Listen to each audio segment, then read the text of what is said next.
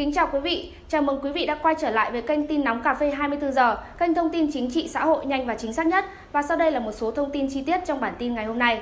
Dự án cao tốc Mai Sơn, quốc lộ 45 sẽ hoàn thành vào tháng 12 năm 2022. Sau chuyến công tác xuyên Tết xuyên Việt của Thủ tướng Phạm Minh Chính, kiểm tra tình hình thi công các dự án giao thông trọng điểm, phóng viên vv.vn ghi nhận sự vào cuộc tích cực của các ban quản lý dự án, nhà thầu trong việc thực hiện các giải pháp đồng bộ để đẩy nhanh tiến độ thi công hàng loạt đối với các dự án thành phần cao tốc Bắc Nam đoạn từ Ninh Bình đến Thanh Hóa. Tại dự án cao tốc Mai Sơn quốc lộ 45 dài 63,37 km, tỉnh Ninh Bình 14,35 km, tỉnh Thanh Hóa 49,02 km, khởi công từ 30 tháng 9 năm 2020. Đến nay, sau hơn một năm triển khai, sản lượng thi công đã đạt 3.442,54 tỷ đồng, đạt 50,1% giá trị xây lắp trong hợp đồng. Hiện nay, toàn dự án, các nhà thầu đang triển khai 68 mũi thi công tại 5 gói thầu, gồm 30 mũi thi công đường, 34 mũi thi công cầu và cống kiện, 4 mũi thi công hầm. Theo kế hoạch ban đầu, dự án sẽ hoàn thành toàn bộ vào cuối tháng 12 năm 2022. Tại gói thầu số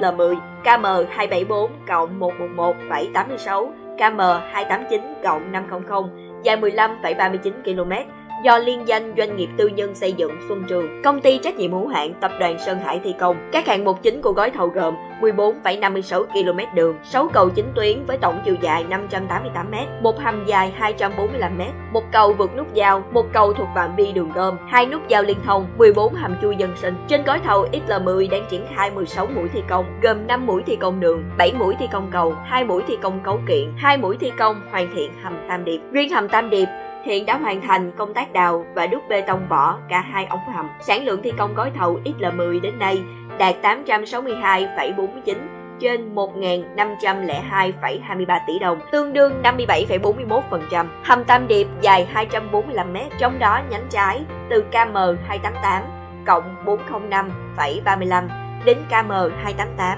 cộng 650,35. Nhánh phải từ KM288 cộng 413,35 đến KM288 cộng 658,35. Đường dẫn quảng trường và cửa hầm phía nam dài khoảng 80m, nhánh trái và 72m, nhánh phải đã hoàn thiện phần vỏ hầm, đang thi công nền hầm. Theo kế hoạch của Bộ Giao thông Vận tải giao, cao tốc Mai Sơn quốc lộ 45 sẽ hoàn thành trong tháng 12 năm 2022 Cảm ơn các bạn đã theo dõi video kênh tin nóng cà phê 24 giờ. Chúc các bạn một ngày tốt lành. Đừng quên nhấn like và đăng ký kênh để nhận những thông tin mới nhất nhé. Xin chào và hẹn gặp lại.